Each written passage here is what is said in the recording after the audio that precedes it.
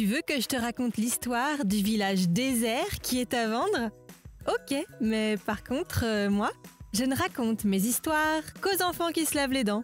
Donc attrape ta brosse à dents, ton dentifrice, et tu frottes jusqu'à ce que l'histoire soit terminée. 3, 2, 1, 0, 0. J'ai une question à te poser. Est-ce que tu as déjà rêvé de vivre tout seul sur une île déserte? Tu prendrais tes doudous, tes jouets préférés et un stock énorme de paquets de gâteaux. Des gaufres au miel pour moi. Et il n'y aurait ni maître ou maîtresse pour t'obliger à faire tes devoirs, ni parents pour t'empêcher de regarder des dessins animés. La liberté totale et le bonheur absolu. Eh bien, figure-toi que c'est possible. En Espagne, un village déserté de ses habitants est à vendre. Au total, il y a un terrain gigantesque, des champs, des prairies, une forêt, un petit ruisseau, ainsi que plusieurs bâtiments, dont deux maisons entièrement restaurées, habitables et très confortables. Prêtes à t'accueillir, toi, tes jouets, tes doudous et tes paquets de gâteaux. En plus, pour un village, il n'est pas cher du tout. En gros, il coûte le prix d'un appartement en région parisienne. C'est une affaire en or Tu veux savoir si quelqu'un a décidé de se l'offrir? Je vais te dire ça tout de suite.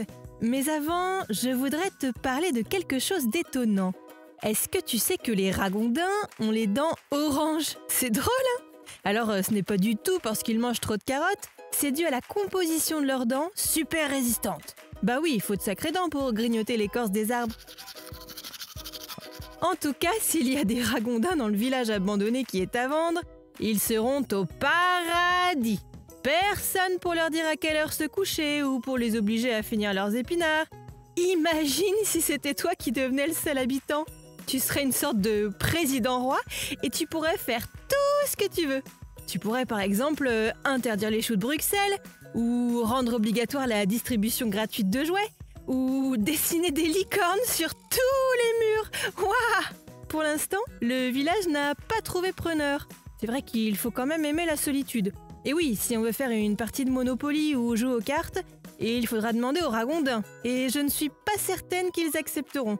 Je crois qu'ils préfèrent se balader dans la nature et traîner dans le ruisseau. Bon, montre-moi un peu tes dents. Fais A, fais I. Hum, c'est pas mal ça, bien blanche comme il faut. Tant pis pour vous les caries. Allez, maintenant, au lit. Retrouvez les épisodes des Dents et Dodo sur le site et l'application BFM TV et sur toutes les plateformes de streaming. Si cet épisode vous a plu, n'hésitez pas à lui donner une note, à vous abonner à la playlist et surtout à en parler autour de vous. C'est un podcast BFM TV.